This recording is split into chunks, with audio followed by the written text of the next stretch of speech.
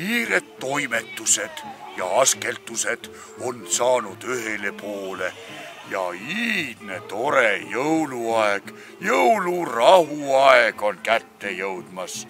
ja minul on ka kõik pakid pakitud, kingitused valmis pandud ja asun teie juurde teele